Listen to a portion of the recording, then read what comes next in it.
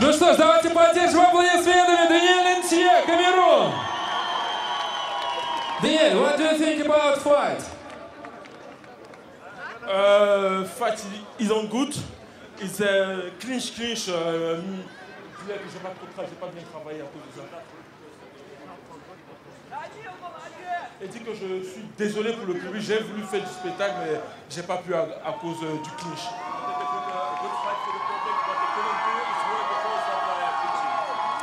Ну, да, если кто-то понимает французский, я думаю, вы уже все поняли. Если нет, здесь мы тоже переводили на английский как могли. А Даниэль сказал, что потрясающий бой, очень много было клинчей. Я думаю, это международное слово распознал каждый из вас. И, конечно же, он сказал, что было достаточно трудно, было достаточно вязко, но он смог одержать победу. Congratulations you, thank you so much.